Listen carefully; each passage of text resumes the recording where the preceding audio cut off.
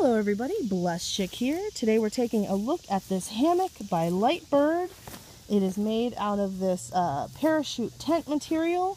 Um, very stretchy, very soft, and it all folds up into this convenient bag that is attached right there. It says Lightbird on it, and you can put your cell phone or uh, anything else, your keys, while you are on your hammock.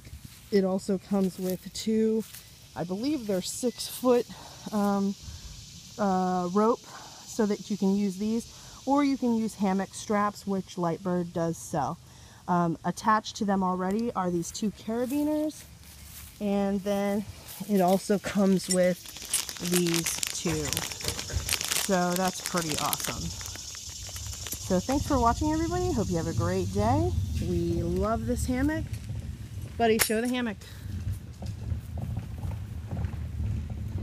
Is it comfortable? Mm-hmm. All right. Thanks for watching, everybody. Bye.